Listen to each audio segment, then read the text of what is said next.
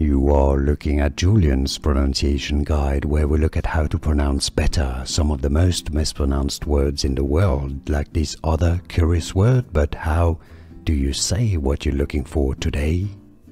We are looking at how to pronounce these words and more confusing vocabulary too many people get wrong. Stay tuned to the channel to learn more generally referring to nuclear weapons or nuclear weapons, nukes, Nukes, it's easy once you know.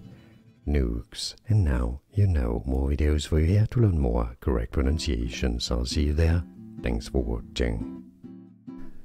Here are more videos on how to pronounce more confusing words and names too many mispronounced. Like this video if you found it useful, I appreciate your support. I'll see you soon and thanks for watching.